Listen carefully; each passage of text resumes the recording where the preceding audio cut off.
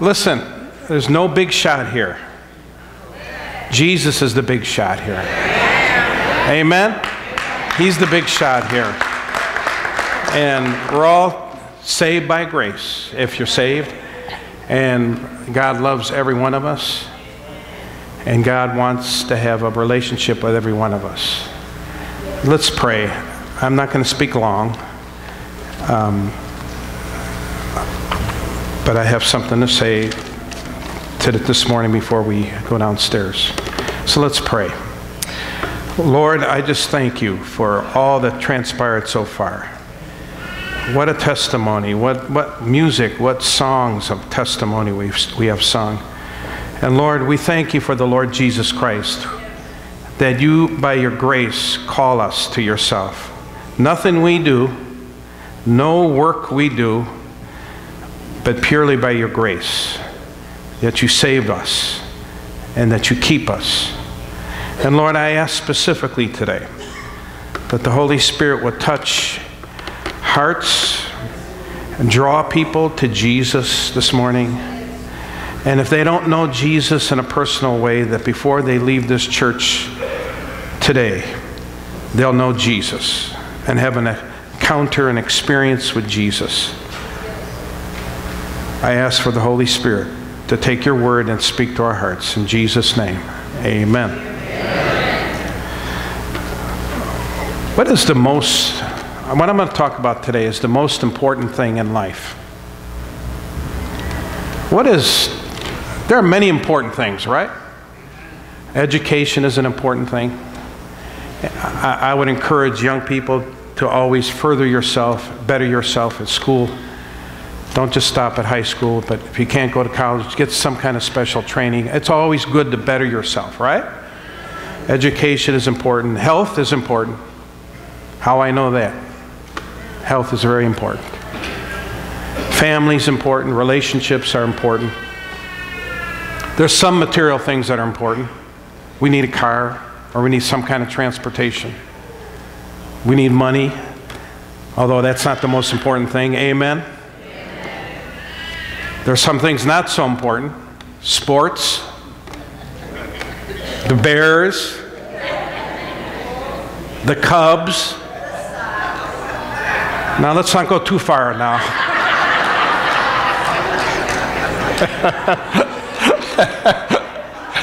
yeah, even the White Sox. You know what happened at a game uh, the other day? I didn't. Wa- I just saw one. Just, funny is when I put it on, that's what I saw. I saw the tail end of it. But uh, one of the Tampa Ray Tampa Rays players hit a foul ball, and it went through the screen and hit the, the lady's face. And uh, it was looked really. They had they, they uh, got a stretcher, had to take her out of the out of the game. And what was touching to me was the Tampa Bay player went over there and prayed for her. Wow. And he said something to the effect like, you know, there are things more important than baseball. And I thought that was really cool to see that. But uh, no, sports are not that important. What is the most important thing? You know, I stop and think about what is the most, the most important thing in life?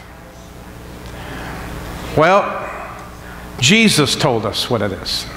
So we don't have to worry, we don't have to think about what, it, what is it, but Jesus himself told us what is the most important thing in life. And if you have your Bibles, if you want to look at it so you know that I'm not just making it up, it's in Mark 8 36 and 37.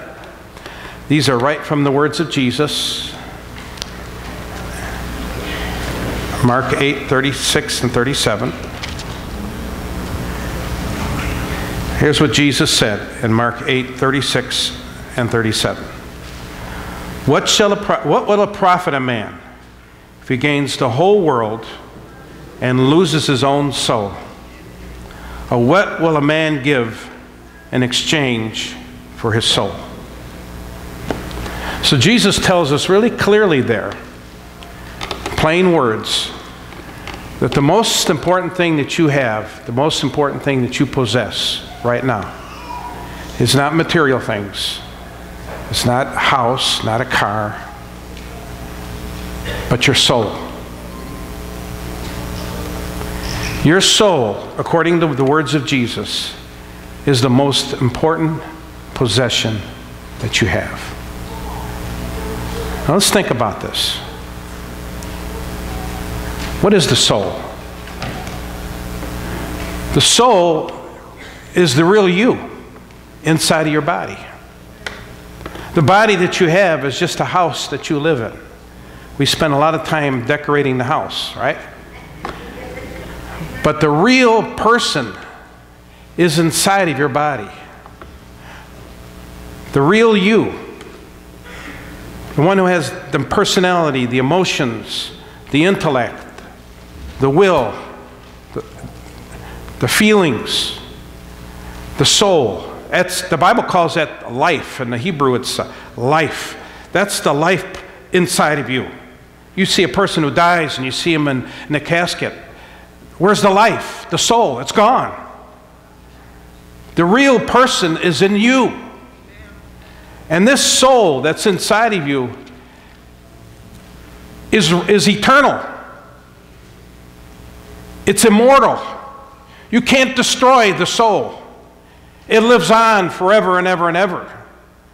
It is the life that God puts inside of us. God created the soul. The soul is the image of God in us that He put inside of us.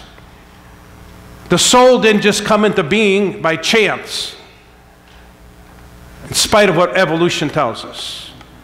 The soul didn't come into, into being by chance. God created you. And when you were in your mother's womb, God created you special. You are unique. There's nobody like you. Aren't you glad of that?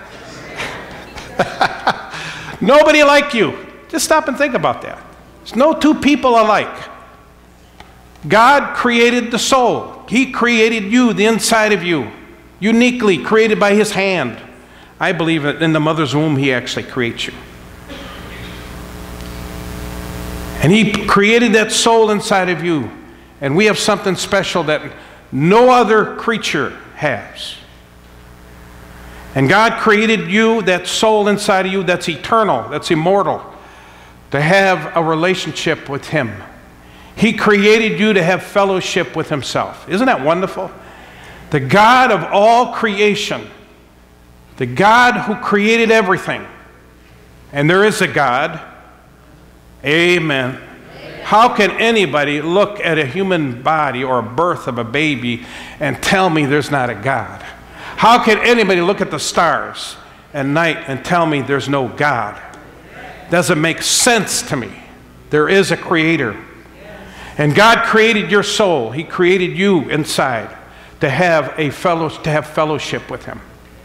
To have a unique fellowship. You can have a unique relationship with the Lord that nobody else can have. How about that? And he created your soul and he created my soul. But a problem came in. And the problem is sin. God did not create us with sin. He created us to have perfect fellowship with Himself. But because of sin and our own personal sins, this soul that's been created to have fellowship with the Lord got separated from God. The Bible says our sins have separated us from God. It's Isaiah 59 2. And so, as a result of our sins, there's a separation between us and God. And by the way, you can even feel that separation before you get saved. There's something missing. Uh, as Augustine, the great Saint, Saint Augustine, said, that there's a vacuum inside of us that will never be filled until we have a relationship with God. Because God created us to have fellowship with Him. And because of sin, that sin broke that fellowship. And the Bible calls that spiritual death or separation from God. And that's why there's misery in this earth. And that's why there's crime. And that's why there's, uh, there's uh, unhappiness. And that's why there's loneliness. And that's why there's the, the effects of sin in this world because of sin. Sin is a terrible disease in humanity because it has separated us from God. It has broken fellowship. And as a result of that, man is trying to get satisfaction somewhere, but he can't find it. In anything. He tries, but he can't find it because he's been created. His soul has been created to have a unique fellowship with the Creator, with, the, with God. But there's a separation because of sin. The soul has been separated from God because of sin. Sin is rebellion against God. You know, every one of us is a felon. You mean? What do you mean? Yeah, every one of us is a, is a felon. We've broken God's laws. Seriously, we have broken God's laws. And it has brought spiritual death and separation. It has brought misery. It has brought unhappiness. It's brought unfulfillment in our lives. And let me just go on to say this. If we don't get fellowship brought back in fellowship with God and be reconciled to God, that separation from God will go off on into eternity in a place called hell. He said, Pastor, you still believe in a heaven and hell? Oh, yes, I do. Because the Bible teaches there's a real heaven and there's a real hell. And the sad thing about this separation, if a person is not saved, doesn't get saved, and get reconciled to God, he is separated from God. I can't even think about it, but a person who dies in this separation from God will go on into eternity, endless eternity, separated from God forever and ever and ever. To me, that is one of the worst things about hell, is to be eternally separated from God. Everything that is good, to be eternally separated from God because of sin. But there's good news. This is why Jesus came. Because God loves us. And He doesn't want anybody. The devil, the, hell was not created for us. The Bible says that hell was created for the devil and his angels. It wasn't created for man. But man in his rebellion, and that means everybody, in his rebellion has, separ- has separated himself from God. And if he doesn't get reconciled to God in this life, he'll go off into eternity separated from God. The Bible teaches every one of us is going to die. I don't care what all the medical science can prolong our life, but ultimately, Every one of us is going to physically die, unless there's a generation that's alive when Jesus comes that'll never die. But the Bible says it is appointed unto man what? Once to die. And after this, the judgment. At death, every soul, the real you inside of you, the intangible you, the invisible, eternal you inside, at death, that soul departs from the body. And it doesn't float around this sometimes you watch some of these movies and the person comes back to earth and he can and he converses with people on the earth and so forth and so on. No that's not what the bible bible teaches that when a soul when a person dies his soul departs from the body and there's a story in the bible that makes it very clear in luke chapter 16 of two people that died and one of them was saved and one of them was not saved and two people died lazarus was the saved person the believer and when he died, his soul immediately went into the presence of God. But the other person who died went to hell. And at death, the soul departs from the body. If you're saved this morning, if you've been saved and born again, the moment you die, your soul departs from your body and goes immediately into the presence of Jesus. Isn't that wonderful? Amen. Amen. That's why I don't fear death. And if you're saved, you don't fear death. Because you know the moment you die, you'll be in the presence of Jesus and of all those that have died and are, are with Jesus now. I can't imagine what that is. Perfection. See, right now, we live in a cursed world because of sin. That's why there's diseases. That's why there's crime. That's why there's unhappiness because of sin. This is a sin cursed world. But when the soul, when the person dies, the soul that's saved goes immediately into the presence of God. And someday there'll be a new heaven and a new earth, and we'll have a new body, the Bible says. But if you're not saved, when the soul departs, it goes separated from God in a place called hell forever. I told this congregation last week, I wish I didn't believe it. I wish there wasn't a hell. I really do.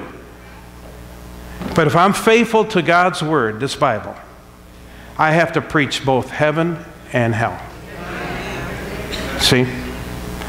And because I love you, I don't want you to spend eternity separated from God forever and ever and ever. The good news is this. This is why Jesus Christ, God's Son, came into this world, is to save our, our souls, to save us. He's the only one that qualifies to be our Savior. Why? Because He's 100% God and one, He was 100% man. He was perfect God man. An angel couldn't qualify. A man can't qualify because we're all sinners, right? But Jesus is the only one who qualifies to be our Savior because He is the perfect God man. And there's only one Savior, there's only one way, and there's only one salvation, and that is only through Jesus Christ. Jesus said himself, I am the way, the truth, and the life. No one comes unto the Father but through me. The Bible says, Neither is there salvation in any other, for there's no other name given under, under heaven, given among men, whereby we must be saved. There's only one way to God. Many times we see one way streets. There's one way to God. Not two ways, not three ways, not four ways. There's only one way. God made it through His Son, Jesus Christ. Thank God there's a way. And Jesus died for our sins. This is how He made the way. Those sins that separated us from God, God took all those sins and put it on Jesus. And He paid the price for our salvation. It costs God. Salvation is free, but it costs God everything. It cost His Son to die on a cross, to be separated from His Father on the cross. That's why He cried out, My God, my God, why hast thou forsaken me? He, was sep- he experienced that separation that, from God when He died on the cross so that I can be reconciled to Him forever. That's the good news. Salvation costs everything to God. Jesus paid it all on the cross. The cost is great, but salvation is free. If I, I have a cheap watch on, it's not, didn't cost me that much, but let's say I have this watch and it's got diamonds and all around it and costs like, let's say, $500,000. It's got, don't worry, it's, it, it doesn't cost that, okay?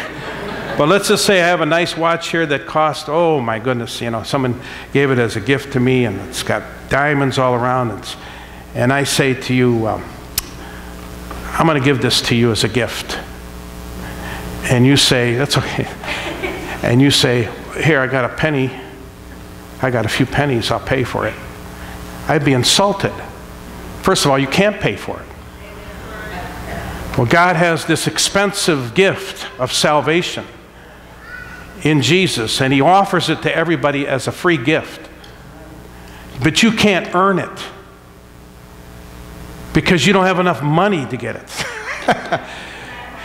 and there are people today trying to get salvation through their good deeds, through their good works, through their religion, and they can't get it because they don't have enough.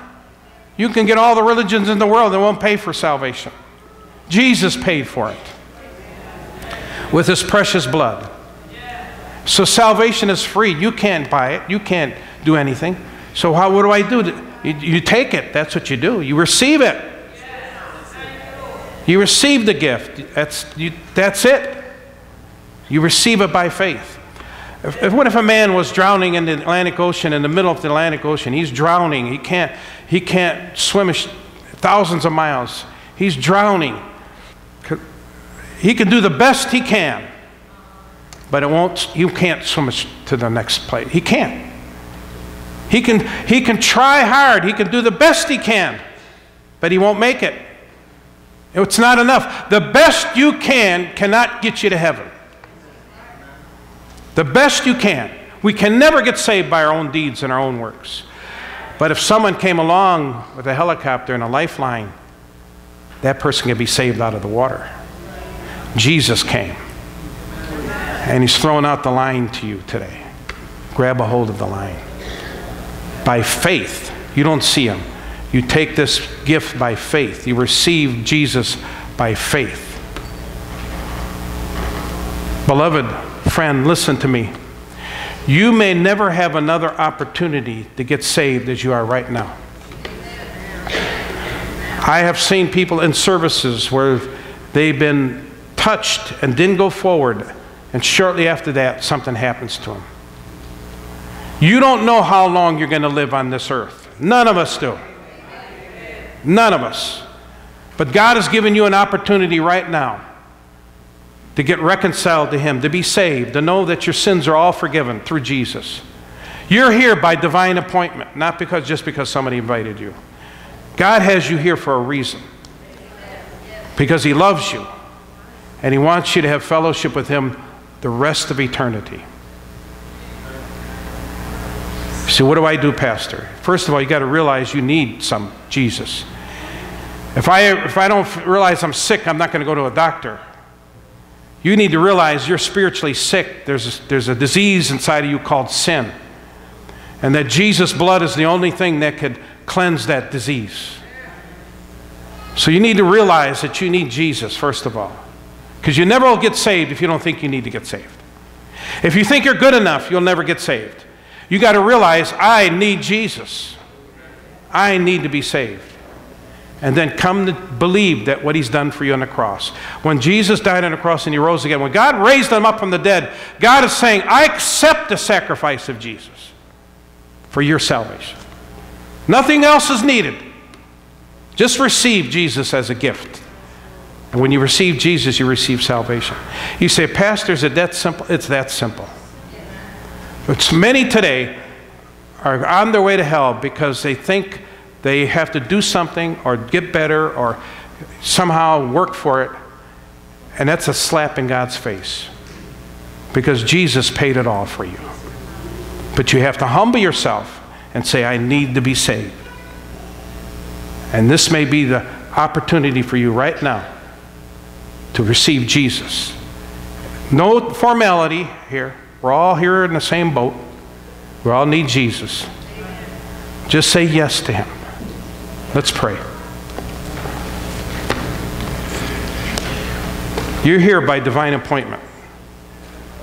The Holy Spirit is speaking to your heart. The Bible says, Jesus said, Behold, I stand at the door and knock. If anyone hears my voice and opens the door, I will come into him and fellowship with him. Jesus is knocking at your door right now, at your heart's door, and he wants to come into your hot life. He wants to save you. That's it. He wants to save you. Salvation is the most important thing in life salvation of your soul.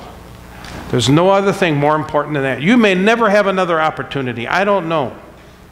But God has you here for a reason, by divine appointment, for you, if you don't know for sure, to come to Jesus. Now, before we close the service, I want you to be honest before the Lord. Say, Pastor, I want to know before I leave this church service, before I leave this church building, I want to know that I belong to Jesus. I want to know that I'm saved. I want to know that I'm going to heaven when I die.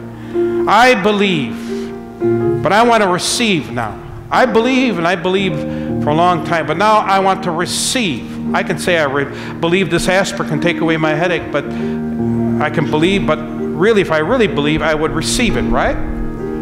Same thing with Jesus. You believe that Jesus is the Son of God, you believe He died for your sins. Well, take the extra step right now and receive Jesus as your Savior and Lord. And everyone that Jesus calls, He calls publicly.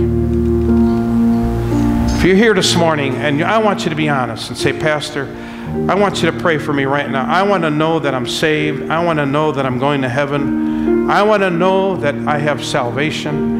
Before I leave this church building, I want to know Jesus lives inside of me and I'm going to heaven and I'm forgiven and I'm saved. And I don't have that 100%. I'm not asking if you have 99. Do you have 100% assurance